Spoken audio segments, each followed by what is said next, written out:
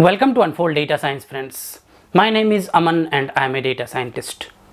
In this video I am going to discuss with you what are the skill sets or what are the areas you should focus on to stay relevant in data science industry when it comes to 2022. So all of us are knowing some of the skills that we must have as a data scientist. For example, model building, model training, feature engineering, all these things. These are fine but where the industry is moving. We will try to understand this with practical examples and where the shortage is coming guys. From my experience I will tell you where we are seeing the shortage, where we are not getting the good people and that is where you have to improve yourself. Believe me guys, many people are moving to data science, many people are in the industry for many years now and if you do not update yourself then it's going to be difficult. So without any further delay guys, let me start with a scenario, okay? Let's say there is a bank, ABC Bank, okay? What we are trying to do, we are trying to understand the problem in the industry, okay? So there is a bank, ABC Bank, okay? So if you go 10 years back, right, when the data science was new or even 5 years back when the industry was not matured, okay? What happened is many industries hired data scientists okay?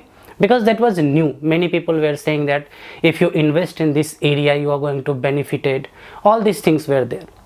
So they built a small team of data science okay? They hired people. They hired some people from statistics background somebody from python background machine learning little bit. These kind of people they hired. They built a team. They built some prototype. They built some solutions. One simple example guys. If this abc bank right let's say it operates in all the states of India okay? Karnataka Tamil Nadu Andhra all these states. Now suppose the Karnataka team or Karnataka IT team thought of building a solution that could cater to some credit card fraud. Just an example. So they hired a team they did that solution. Now the question comes how this solution will be used in the production? That is question number one. Question number two is Suppose this solution is very good, then how this solution will be rolled out to all the Indian states? How it will be used as a centralized solution? What all I am talking about is the industry problems not only with one bank example I gave you, it is many places guys. Let me tell you the way industries started adopting data science and the way data science has also matured and the way they want to benefit now from data science has changed a lot. Okay? So previously people did not think that we will build a prototype we will build a poc then how we will industrialize? How we will scale it up? How we will make it production ready? How we will review it? How we will kind of update it when new things come? So there is a possibility that solution which is built for one indian state may not be working well with other Indian state. So what kind of modification? How do we accommodate that? And that is where many of you would be noticing that when you are uploading your profile in job portals, right? Then sometimes we get irritated also because they ask many things in their job description, right? Do you know Kafka? Do you know Flume? Do you know Airflow? Do you know Big Data Unix? Do you, do you know uh, dashboarding? All these things they will ask. The reason for that is all of you are already aware of this. They are looking for something known as full stack data scientist. Now full stack data scientist saying this is you know very broad. It's a broad term. But how you will become a full stack data scientist? What are the skills you will need apart from your core data science skills? So the example i gave you guys one bank is trying to scale up its solution. One bank is trying to industrialize in a in a larger way in a centralized way in a bigger way. So what kind of skills it will be needed? This is a very very real existing problems in many of the organizations guys. So what kind of people they will look for? They will look for somebody who is good in productionization part of machine learning or deep learning right? So first skill that you should focus on guys in this year 2022 is ml ops remember this guys ml ops productionization of your model dockers how to deploy your model in cloud, how to deploy your model in premise, and how to review your model, monitor your model, and you know, continuously upgrade the model. That is one area where you or me or everybody in data science need to focus now.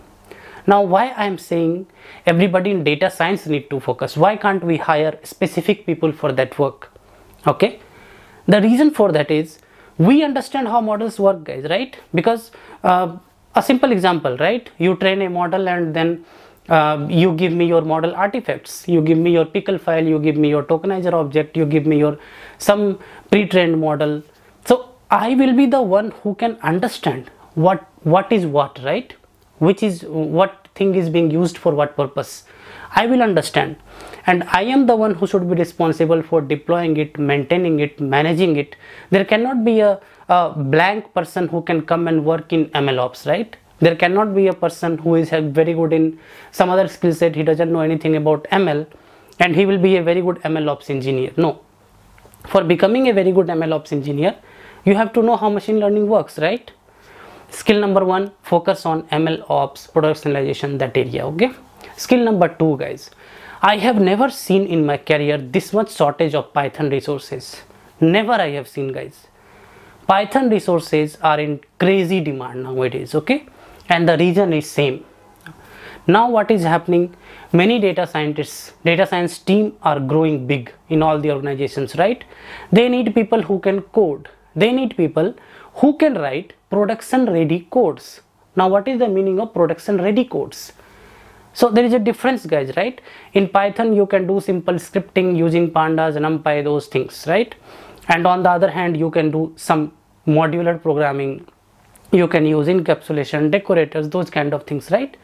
So if you are still not using those things, it's high time to learn object-oriented Python and also improve our skills on all the uh, production standard codes okay? So no matter where you are and where i am in python level wise I am saying okay? It's time to improve. What my plan is I will create more Python videos with medium level topics. Medium level means not too advanced topics but something which you should know okay? I will add more videos in my existing Python playlist which is here you can see. This is the skill number two okay skill number three guys. Big data unix and how to work on unix based systems okay? As i keep saying this always to you all the databases sorry all the data all the hadoop systems will be mostly in unix based platform okay? If you are very uncomfortable with that you will have a hard time. I have created a playlist here. You can watch that you will be at least at a level where you will not feel uncomfortable when you are exposed to big data hadoop and unix environment. Kindly watch this playlist guys and learn basics of this and then you can improve more on that. Fourth skill i want to talk about here guys obviously and this is the skill which is which will never go out of the picture.